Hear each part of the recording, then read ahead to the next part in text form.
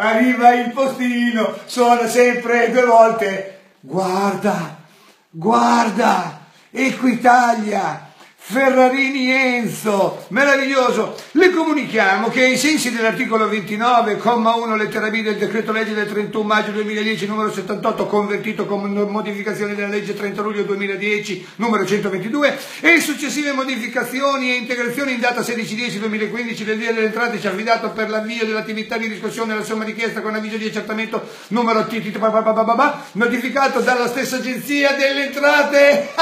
Seghe! Attenzione signori, Equitalia, andiamo a vedere, guardate, guardate, si vede bene la cifra? 7.209 euro da pagare, è veramente una cosa meravigliosa.